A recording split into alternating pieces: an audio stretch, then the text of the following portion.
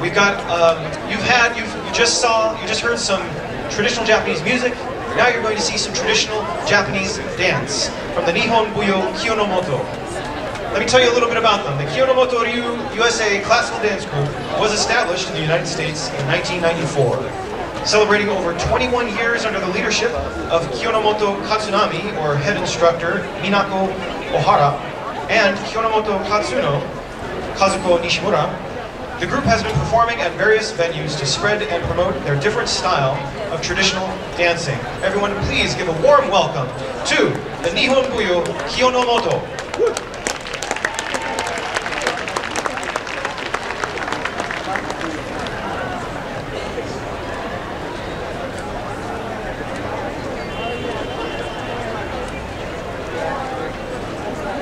The Kiyonomoto Ryu Dance Group will be performing five dances for you today. The first dance is called Takara Bune.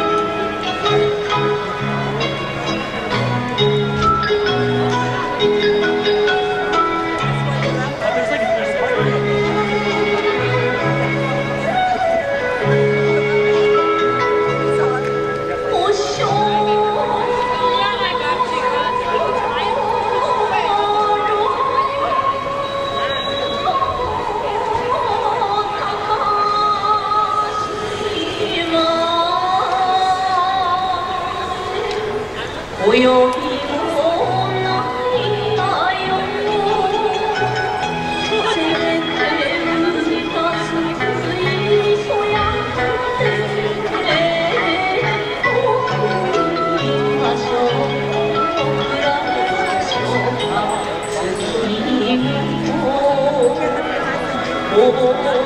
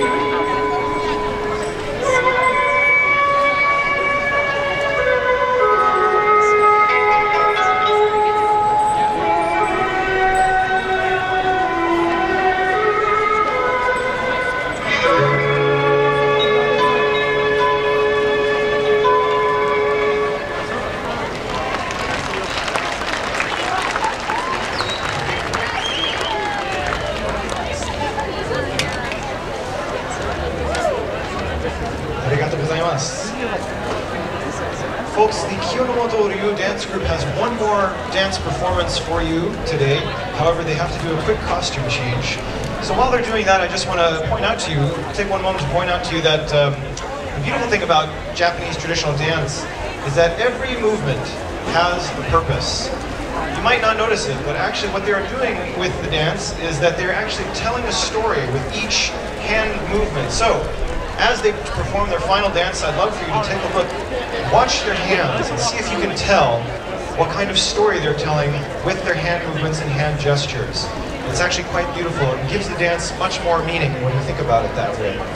So folks, I hope you're enjoying the day and enjoying this beautiful uh, presentation of Japanese traditional culture. And I hope that you will take from this, uh, you know, that this is a special, special day that we're all gathered here today to really celebrate uh, not just traditional Japanese culture, but uh, taking that traditional culture into the future, what all these organizations are trying to do. So please, please support them and uh, give them as much support as you can.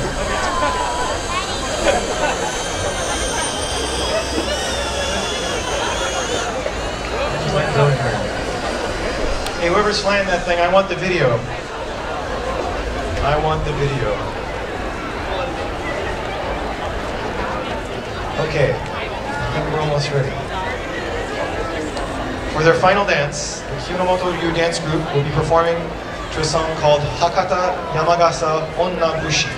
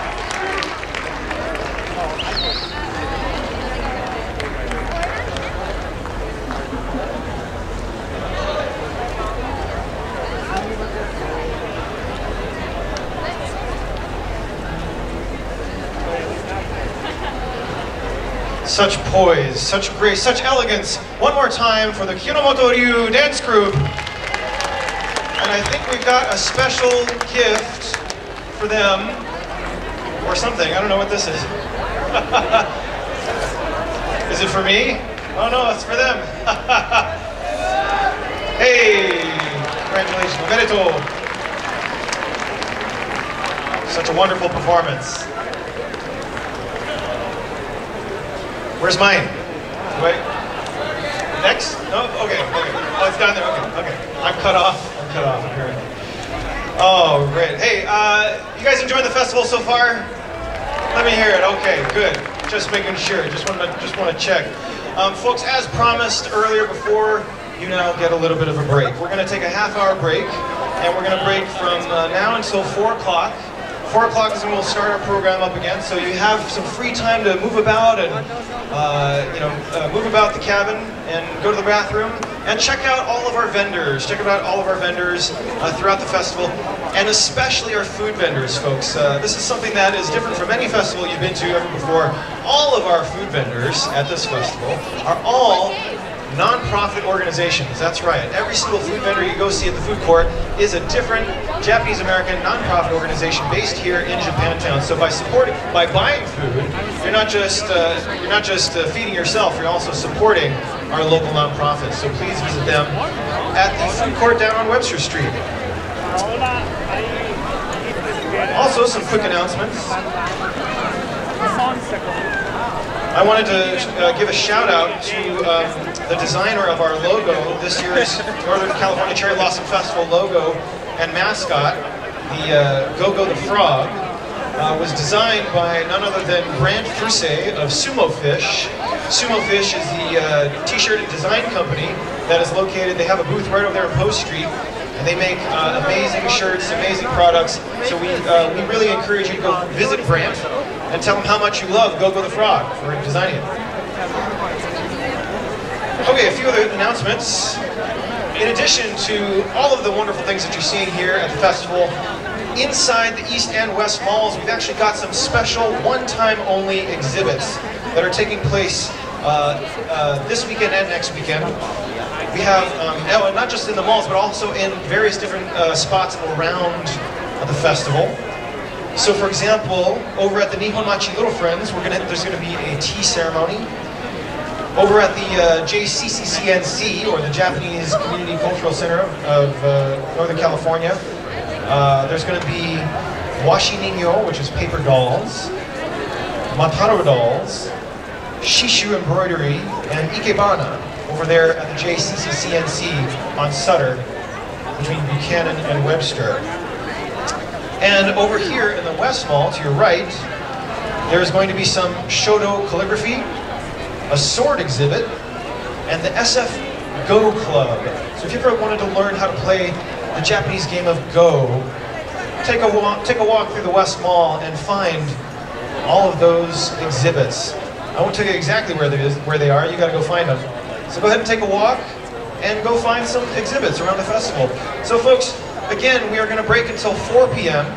So come back and visit us at 4, and we will get this show going once again for the rest of the day. But in the meantime, have fun and enjoy the festival.